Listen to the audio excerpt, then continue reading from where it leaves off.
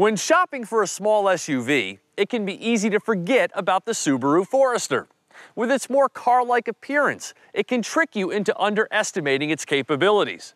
But this all-new 2014 model has added goodness which should grab attention. They may be small, but they've got a mojo that makes other automakers envious.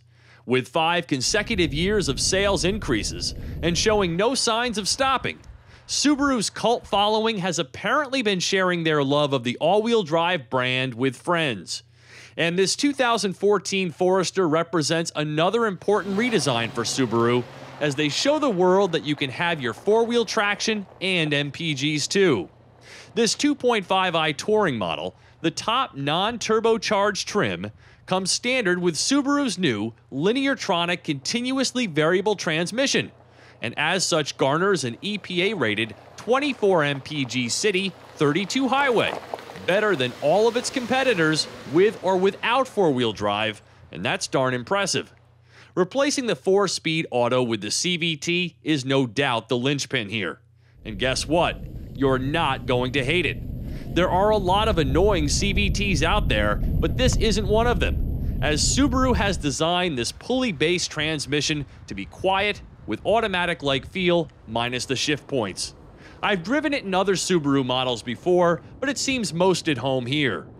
As the Justy introduced CVTs to American drivers back in the day, the Forester exemplifies how far they've come. You've got to go easy with your right foot, however, as an imprudent amount of pressure on the gas pedal sends the Forester launching.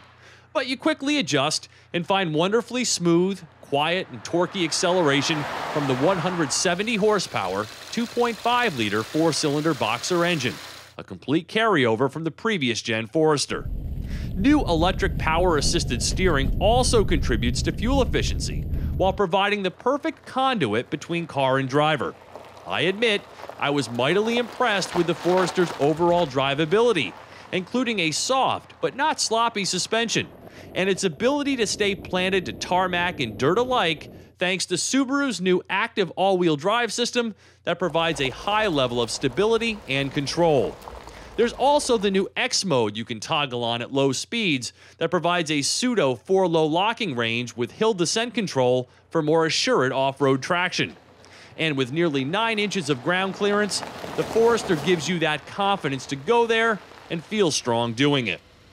Inside, People space, cargo volume, and rear seat legroom are all up despite the small increase in exterior dimensions. Mine has this handy all weather cargo mat and remote switches to drop the rear seats. The big option package on my tester bundles keyless access and start, HID headlamps, and Subaru's innovative eyesight system, which I first experienced last year on the Outback. It uses a stereo camera instead of radar to provide adaptive cruise control, lane departure warning, pre collision braking, and even a nifty feature to alert you when the vehicle in front of you is moved. Its integration and performance are excellent, and it can be deactivated if desired. But not everything is ice cream and balloons. The new Harman Kardon infotainment unit with Navi and its utter lack of buttons is the worst, and looks like an afterthought. And don't even bother trying voice commands, they're never understood. For some reason, new Subarus always feel about five years old inside. Pricing starts at $22,820 for a base Forester 2.5i, while my touring model stickers for $33,220.